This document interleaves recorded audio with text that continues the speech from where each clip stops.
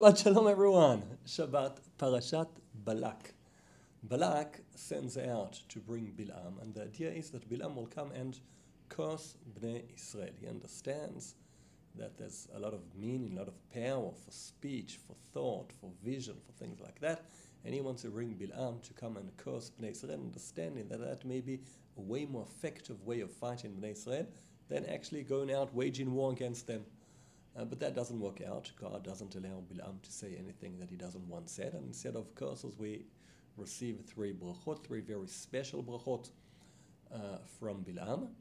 Uh, the third bracha that Bilam blesses Bnei Israel, he starts off with something that looks, uh, it's a pasuk. many people say it every morning when they walk to shul. Uh, it's one of the more famous psukim from Bilam's brachot, although a lot of the psukim are quite famous. And he says, Ma tovu oalecha Yaakov mishkenotecha Israel. How good are your tents, Yaakov, okay, referring to Israel, calling them Yaakov, mishkanotecha, the place that you dwell in, uh, Israel. What is so special, what is so good about the tents, about the places where we live? Uh, Rashi, quoting Chazal, uh, says, Al shera'a pitchehem she'ena mechuvanim ze mul ze. He saw that the openings the doors, the windows, whatever openings they have, were not directed one towards each other.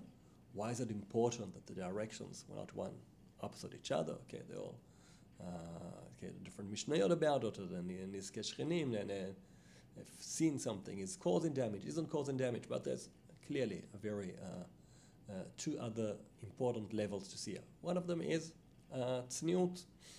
Tzniut, modesty, you don't need to look into someone else's house you might the things happen inside the house. Are meant to be they they uh, uh, things that are internal they belong to the house. Uh, you might see someone in a modest moment or something like that. Things that are okay appropriate inside the house inappropriate inappropriate outside of the house. So there's a very basic level of tzniut that we need to maintain uh, with other people not look not walk around looking into their homes. Uh, it's uh, famous about Rav Zuckerman Zecher Tzadik V'Kadosh Livracha. uh, that uh, one of his children, different towns, I think different children, used to live in a small unit underneath their house, and the door was very, uh, doors, windows very close to the stairs going up to the house. Said never, never, ever did he ever look in the direction of the doors of the windows of that house. Although it's his kids, it's his maybe it's his grandchildren, they say his, his children, anything like that. No, never. You don't look in.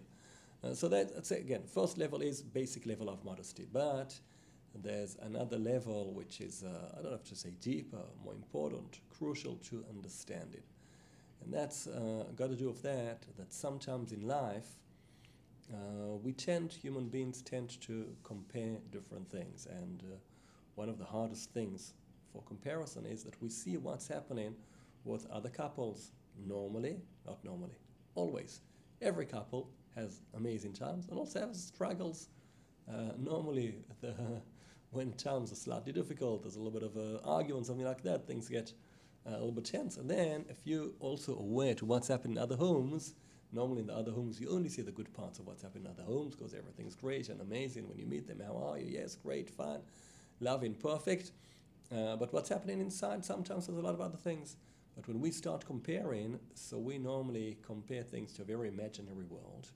And we see, wow, look what a present her husband, his wife, bought them. What a ring, what a car, everything. And especially in today's world, what if a, a husband buys his wife a car, then he also puts a writing on the on the back window, Lishti be'ava, to my wife, my wife with a lot of love, or something like that, or wraps it up and takes a picture, uploads it to whatever social media he's using and everything, and everyone sees this and they're wow, wow, look at them, wow, how much he cares for, how much, uh, everything, how much he's prepared to spend. No one really knows what's happening there why it happened, what was the attitude when they got each other, what led to bringing that. Maybe it's all trying to overcome something. Maybe a million things could be.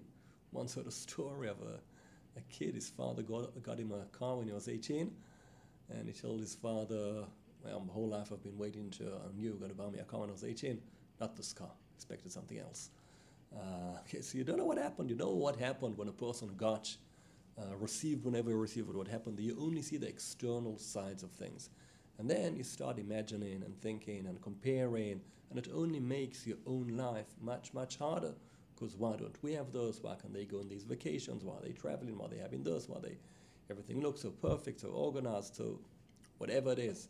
Okay, that looking into other people's homes is very problematic. Another aspect of it, that's looking into someone else's home. The other side of it is when you expose what's happening with yourself, you destroy it.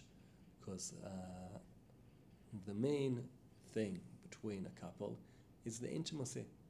The intimacy, that very pure, holy intimacy that truly is totally undependent on anything external. It's a lot, a lot of internal purity and devotion and love, and there's no way to show it. Uh, when we start trying to show it, to expose it between a couple, there will be ways to express it. Different things, because of the connection, there will be expressions of certain things. Sometimes big things, sometimes small things, sometimes often things no one else can even notice, sometimes things other people can notice, but it's very, very personal. But the minute a couple starts exposing those things, then you take it from something very intimate to something very public. The minute you turned your life into public life, there is no intimacy in public life. It's all gone, all destroyed, all ruined, nothing, it's, it's just not there. So even sometimes people will see a couple and it looks like if they're so close and everything, they always uh, look like they're so, so in love and everything. You don't know what's happening. And if everyone sees that happening, there's a strong, strong chance that's not what's really happening inside there.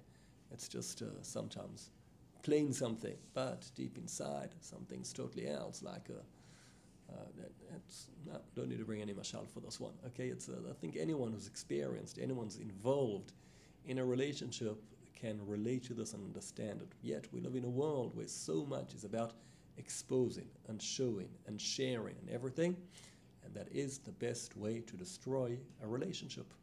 That's why, Bezrat Hashem, will follow the chants in the Midbar, מה טובו אוהליך יעקב משכנותיך ישראל, שלא היו פתחיהם מכוונים זה מול זה.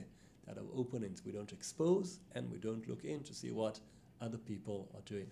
Shabbat Shalom, everyone.